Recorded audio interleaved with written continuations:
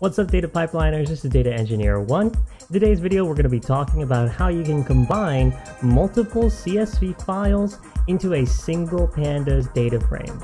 This is a question that gets asked a lot and I think is a great one to just take a look at how we can use the partition dataset for this purpose. Let's go ahead and get started.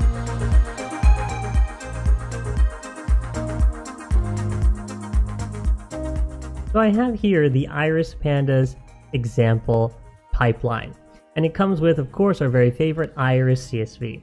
Um, in this case, what I've done is I've manually split up the CSV into the Virginica, Setosa, and Versicolor portions. So these are the different species inside of the CSVs. In order to grab all of these CSVs, the best way to do this is actually to use either the partitioned dataset or the incremental dataset. Now the difference between the two is that the partitioned iris data will actually lazily load your partition pieces of data. So that means that when you actually load the data set itself, it doesn't load all of the values that it holds. However, the incremental data set will load all the values. Uh, the reason why you'd want to use incremental over partitioned is that the incremental allows you to do um, checkpointing in your data so you can figure out which ones have been calculated and which ones have not. Uh, we already have a video talking about incremental dataset as well as partition dataset, so I highly recommend you take a look at those if you want a little bit more detail. But here, in this case, we're just going to be using the pandas CSV dataset inside of the partitioned iris dataset, and we're going to be also using the same thing inside of incremental iris dataset. So now that we have these datasets available, let's go ahead and create a node and a pipeline for ourselves. This is just going to be a very simple example, so no need to create anything super fancy. Now I've created our initial node functions for combining the CSV files. Take a look here at how I've created the signature for the partitioned and the incremental CSVs.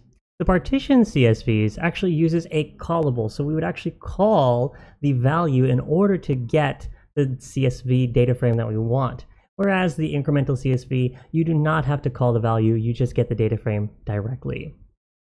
To pass these guys in, we actually can take advantage of Pandas concat.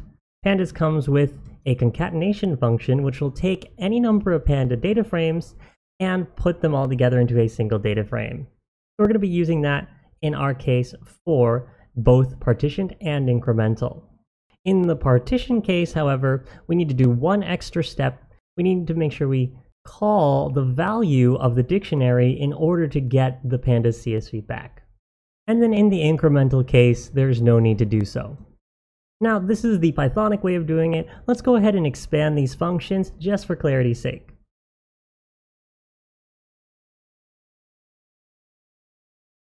And now we can also monitor the actual values here just to prove that we're really concatenating things. And so we see here, we have our two different versions of our combination functions. We have a partitioned version and the incremental version. I'm printing out the length of the rows as well as the name of the CSV. The name comes from the key value that is inside of the dictionary. And that dictionary gets its key value from the folder path. So the setosa.csv is going to be a key, versicolor.csv is going to be a key, and then virginica is also going to be a key when it comes back. And so we should be able to see those file names when we print that out here. And for the final node, we're just going to go ahead and print out the um, length of the final concatenated pipeline. And we're going to make the pipeline called cat. And there it is. We have our four node pipeline, which includes our, our combination of incremental CSVs, the combination of the partition CSVs, and then an output which prints the final result of the rows. So let's go ahead and give that a Kedro run. And there you have it, folks. We have the incremental 50-50-50, the partition 50-50-50, and then the final output of 150. I hope this was informative for you guys. If you guys made it this far, make sure you button that like, sub that subscribe, and ring that ding. And I'll see you guys at EuroPython 2020, or I'll see you next time. Take care. Bye-bye.